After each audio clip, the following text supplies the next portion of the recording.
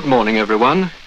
This is the BBC Light program on wavelengths of 1,500 and 261 meters. It's the first time we've said those words, BBC Light program, which we hope are going to mean for you now and in the days to come all that is best in radio entertainment from 9 o'clock in the morning to midnight.